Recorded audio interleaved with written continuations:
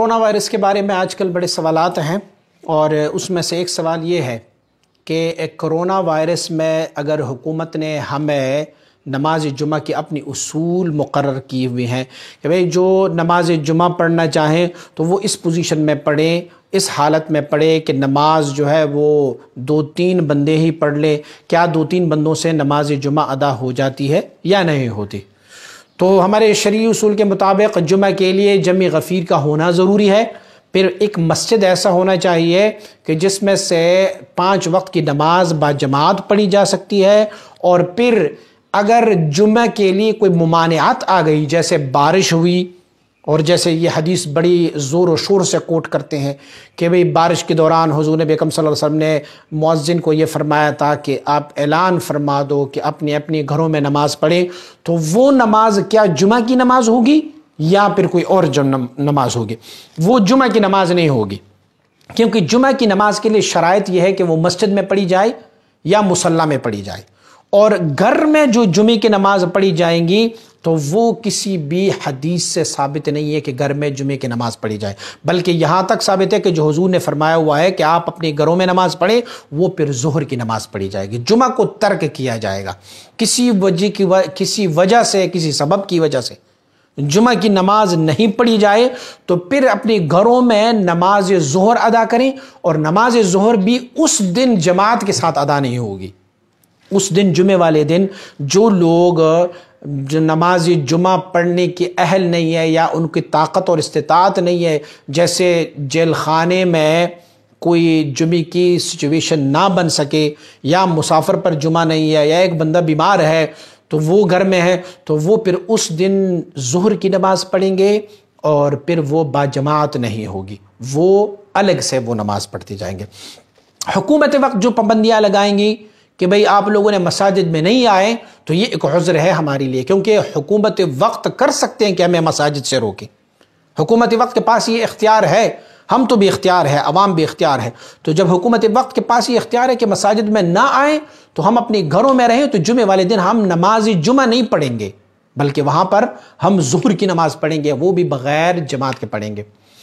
दूसरा सवाल ये पूछा जा रहा है कि क्या नमाज़ के लिए जब लोग आएँगे मस्जिद में तो उनके लिए सफ़ों में फासले का क्या हुक्म है? शरीत मतहर में तस्वीत सफ़ूफ़ मिन सलात। सफ़ों की बराबरी, ये नमाज़ का एक जुज़ है। शरीत मतहर का ये असूल है।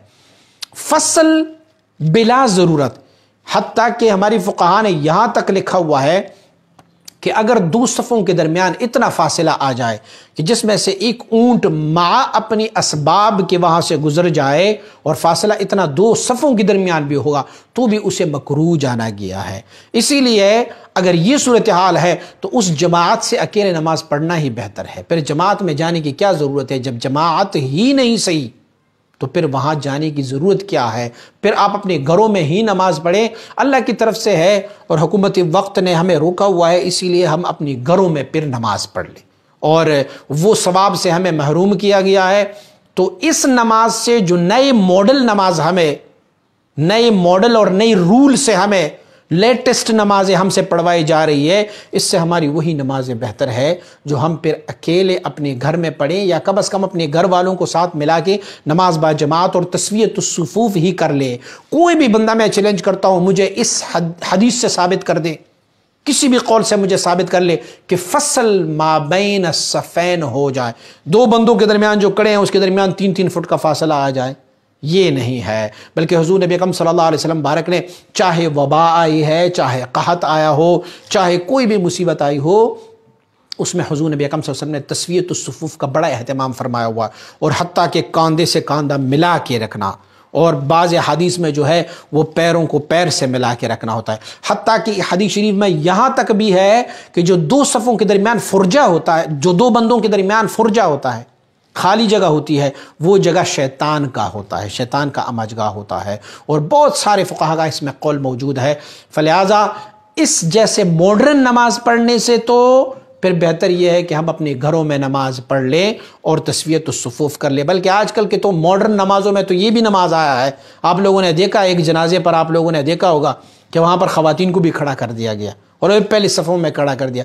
आपने जनाजों में भी ये भी देखा कि वहाँ पर जनाजी इमाम से पहले भी लोग खड़े होते हैं। आप अगर मदीना मुनवरा जाएँगे तो वहाँ पर भी मॉडर्न नमाज़ पढ़ाई जाती है। आपने देखा होगा, ईद की नमाज़ें, वहाँ पर इमाम कहाँ खड़ा होता है और मुख्तदी जो है, वो इमाम से कई सफ़े, बीस सफ़े आगे मुख्तदी खड़े होते हैं। वो नमाज़ पढ़ते हैं। ये मॉडर्न नमाजें हैं।